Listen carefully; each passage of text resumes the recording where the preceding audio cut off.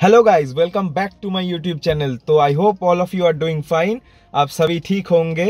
तो आज के इस वीडियो बहुत ही इंटरेस्टिंग होने वाला है क्योंकि हमारा जो होंडा सिटी है, इसमें तो फोल्डिंग मिरर्स है मतलब कि अंदर से जो बटन से खोलता है, बंद होता है।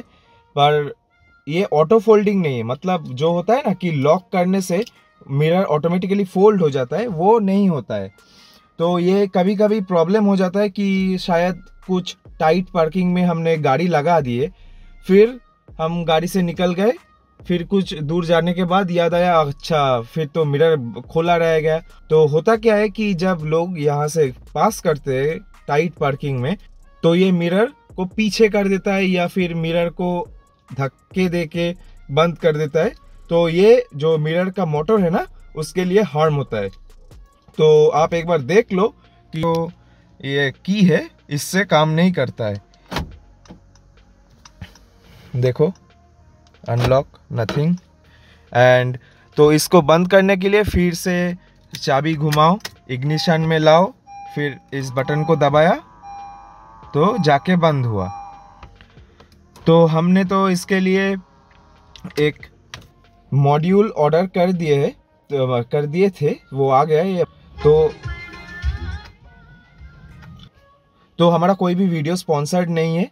हमने बहुत रिसर्च करके फिर आइटम को चूज़ किया और आप लोगों को बता रहे ताकि आप लोग जान सके कि वर्थ इट मानी में मतलब पैसे ठीक ठाक पैसे में कौन सा चीज़ लेना चाहिए ताकि वो काम भी अच्छा करे और ज़्यादा पैसा भी ना खर्च हो, ठीक है? तो लिंक तो आपको डिस्क्रिप्शन में मिल जाएगा प्रोडक्ट का। तो चलो अनबॉक्स कर लेते हैं, फिर आपको दिखा देंगे कि कैसे इंस्टॉल करना है, पूरा स्टेप बाय स्टेप तो यहाँ पे हमारा पैकेज आ गया है, आप देख सकते हैं, इसका कुछ वन थाउज़ेंड फाइव हंड्रेड लिया है हमसे, ठीक है? तो इसको खोल लेते हैं जल्दी से। तो ऐसा कुछ दिखता है हमारा जो मॉड्यूल हमने ऑर्डर किए थे फोल्डिंग मिरर तो इसको खोल के देखते हैं ये के एम एच से है, ठीक है? तो यहाँ पे हमारा जो रिले है वो दिया गया है। और यहाँ पे वायरिंग हार्नेस दिया गया है सब। जैसा कि आप देख सकते हैं। और इसको ये वाला है अस, हमारा असली रिले जो है। तो चलो अभी इंस्टॉलेशन का प्रोसेस दिखा देते हैं। कोई मैनुअल नहीं है इसके साथ कि कैसे लगाना है। तो हमको ये दो स्कॉच लॉक लगेगा। ये मॉड्यूल के साथ ये नहीं आता है। आप कोई भी सामने वाले दुकान में जाके बोल सकते हो कि स्कॉच लॉक दे दो। अगर स्कॉच लॉक क्या होता है उन लोगों को नहीं पता तो ऐसे समझाओ उनको कि एक क्लिप दे दो जिससे कि एक क्लिप दे दो जिससे दोनों तार को एक साथ कनेक्ट कर सके। ऐसे समझा दो। और ये है एक 4.8 पॉइंट mm का टर्मिनल ठीक है, ये एक ही लगेगा। तो चलो, इसको अभी दिखाते हैं कि कैसे इंस्टॉल करना है। ओ बाई द वे यहाँ पे देखो, अभी एक घंटा बारिश हुआ है, ऐसा हाल हो चुका है तो अभी कोलकाता का जो वेदर फोरकास्ट है, वो तो बोल रहा है कि बहुत सारा बारिश होने वाला है। अगर बारिश होता है तो पता नहीं यहाँ का क्या हाल होगा। अगर आपका कांटेक्ट में कोई नाव है या कुछ है तो हम कोई भी एक गाड़ी के बदले एक नाव या शिप कुछ भी आप दे दो, हम ले लेंगे, ठीक है? तीन, तीनों गाड़ी तो पानी पे नहीं चल सकता, इसलिए तो सोचे कि एक शिप ले लेंगे, ठीक है? तो चलो। तो पहले जो है, हमको यहाँ पे एक तो फ्लैट कुछ चीज़ घुसा के, ऐसे इसको अगर हम थोड़ा सा प्रेस करेंगे तो ये खुल जाएगा, ठीक है? तो इसको ऐसे निकाल लेंगे पहले, ठीक है? ये निकल गया। अभी आप देख सकते हैं कि यहाँ पे एक ठो नट है, ठीक है? इस नट को भी खोल लेंगे, एक ठो रेंज से।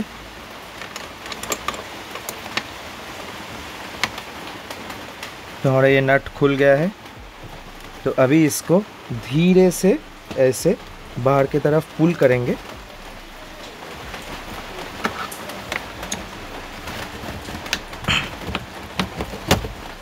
देखो, ये निकल गया। आसानी से, ठीक है? और इस साइड भी थोड़ा सा ऐसे, यहाँ से पुल करेंगे तो ये आसानी से खोल जाता है ऐसे, ठीक है? और यहाँ पे जो प्लग है, इस प्लग को यहाँ से ऐसे थोड़ा सा प्रेस करेंगे और ऐसे खींचेंगे तो ये खोल गया, और ये वाला ऐसे धीरे से खींचेंगे, बस, ये भी खोल गया। तो ये है हमारा वायरिंग हार्नेस तो यहाँ पे आप देख सकते हैं, यहाँ पे तीन वायर दिए गए हैं, ठीक है? एक लॉक है, एक अनलॉक है और एक 12 वोल्ट का पावर सप्लाई से जो लगता है, ठीक है? तो 12 वोल्ट का पावर सप्लाई का जो लाइन है, वहाँ पे थोड़ा सा कॉपर को निकाल लेंगे। फिर हम लोग इसमें ऐसे तो ये टर्मिनल में ऐसे इसको बिठा के फिर एक ठो प्लायर्स से इसको ऐसे दबा देंगे। अच्छी तरह से, ठीक है? तो ये कुछ ऐसा दिखेगा, ठीक है? तो अभी जो है, आप लोग यहाँ पे देख सकते हो कि यहाँ पे स्विच है, ठीक है? हमारा मिरर का कंट्रोल करने वाला स्विच। तो अभी अगर हम यहाँ से थोड़ा सा हाथ को अंदर घुसाए तो यहाँ पे एक ठो ऐसा कनेक्टर मिलेगा हम लोगों को, ठीक है? तो ये कनेक्टर आप देख सकते हैं कि ऐसे लगाया गया है, ठीक है? मतलब यहाँ पे एक तो लॉक लॉक है। यहाँ पे एक तो लॉक है। तो इस लॉक को अगर हम प्रेस करके निकालेंगे तो ये आसानी से निकल जाता है। तो यहाँ पे हम लोग फील करेंगे कि कहाँ लॉक है। अब जब हाथ में लगे वो लॉक तो उसको धीरे से दबा के ऐसे खींचेंगे। देखो, ये निकल गया है। ठीक है? तो हमारा जो ये वायरिंग हार्नेस से यहाँ पे सिर्फ़ कपलर टू कपलर ऐसे इसको अंदर घुसा देना है, ठीक है? ये हो गया है। फिर हमारा ये वाला जो कनेक्टर है, ये वाला वहीं पे चला जाएगा, ठीक है?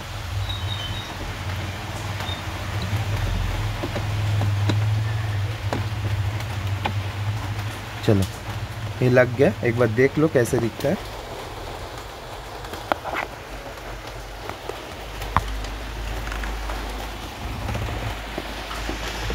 ठीक है। ये मॉड्यूल को हम अभी यहाँ पे हार्नेस से लगा देंगे। बस। ऐसे। ठीक है तो ये लग चुका है। तो अभी हमारे पास जो ये ब्लू वायर और ये वाइट वायर है तो इसको हमको यहाँ पे जो आप देख सकते हैं, इस हार्नेस में जो वायरिंग है, इस वायरिंग से हमको लगाना है। ठीक है।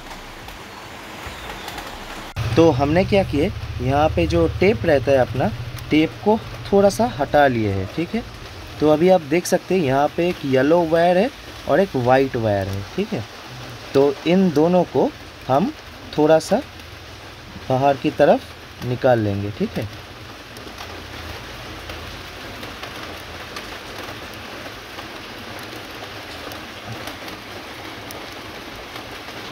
और यहाँ पे एक वाइट वायर है।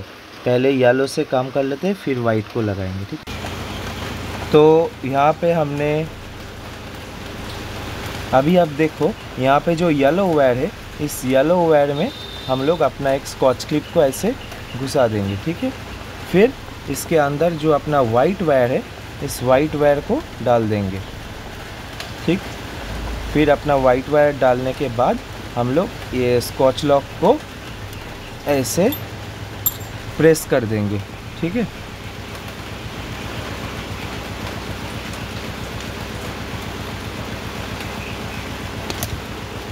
तो आप देख सकते हो कि अंदर में ये जाके लॉक हो गया है, ठीक है? अभी हम अपना स्कॉच लॉक को भी लॉक कर देते हैं। फिर अपना जो ये वाइट है मतलब ये प्योर वाइट एक एक है, ठीक है? ये वाइट जो एकदम नैरो वायर है, इस पर भी एक स्कॉच लॉक लगा देंगे।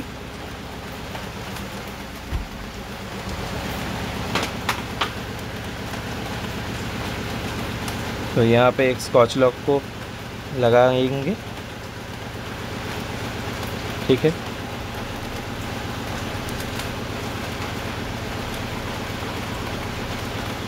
यहाँ पे स्कॉच लॉक लगाएँगे। फिर अपना जो यहाँ पे ब्लू वायर है अपना, इस ब्लू वायर को और एक होल में घुसा देंगे ऐसे। ठीक है? फिर इस स्कॉच लॉक को भी हम अपने प्लायर से प्लेस कर देंगे। तो ये दोनों कनेक्ट हो गया है। और अब जो पा, पावर रेल की बात आते हैं आता है तो हमने यहाँ पे एक टर्मिनल से कनेक्ट कर दिए थे। ठीक? तो ये टर्मिनल हमको यहाँ पे जो हमारा फ्यूज़ बॉक्स है ठीक है? इस फ्यूज़ बॉक्स में आप देख सकते हैं एक 40 एम्पेयर का फ्यूज़ है, ठीक है? ठीक 40 एम्पेयर के ऊपर जो ठीक 40 एम्पेयर के ऊपर जो प्लेस है यहाँ पे यहाँ पे टर्मिनल दिखेगा आप लोगों को। उस टर्मिनल के अंदर इसको फिट कर देना है।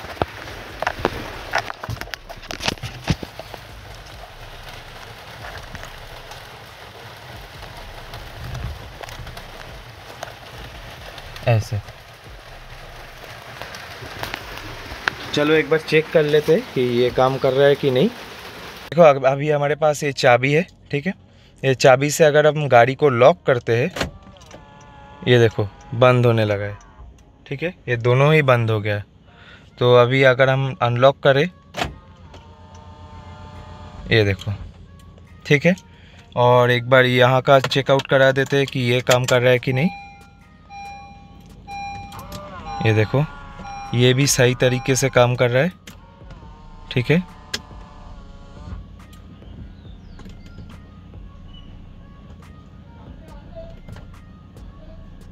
ठीक है। उस साइड।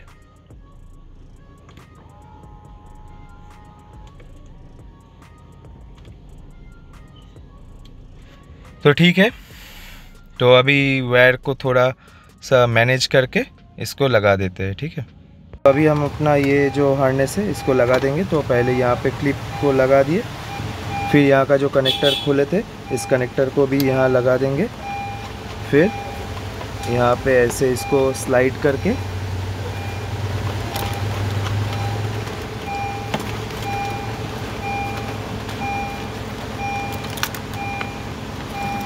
ये बहुत ही आसान है।